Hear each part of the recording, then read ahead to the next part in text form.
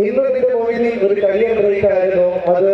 രാജുവേട്ടൊപ്പമായിരുന്നു ഇന്ന് രാജുവേട്ടന്റെ കളിയിൽ ഒരു മൈൽസ്റ്റോൺ ഉണ്ടാകുമ്പോ ഒരു വളരെ മാത്രമേ ഒരു താരമായി കട്ടയ്ക്ക് കൂടെ നിൽക്കുന്ന ടൊവിനോ തോമസ്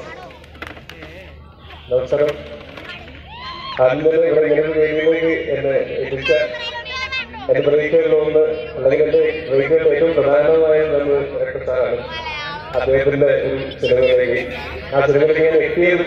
കുറെ കോംപ്ലിക്കേഷൻസിന്റെ അവസാനമായിരുന്നു ഞാൻ അത് കാഴ്ചവെക്കുന്നത് അത് ഞാൻ ഇന്നും ഓർത്തിരിക്കുന്ന കാര്യങ്ങളൊന്നാണ്. അദ്ദേഹത്തിന്റെ അടുത്ത് അദ്ദേഹത്തിന്റെ ഒരു സംവിധാന സംരംഭം വന്നു ഒരാളുടെ കൂടെയാണ് നടന്നു പോകുന്നത് ഇതിൽ എനിക്കെന്തെങ്കിലും ഉണ്ടാവുമോ ഉണ്ടാവുമോ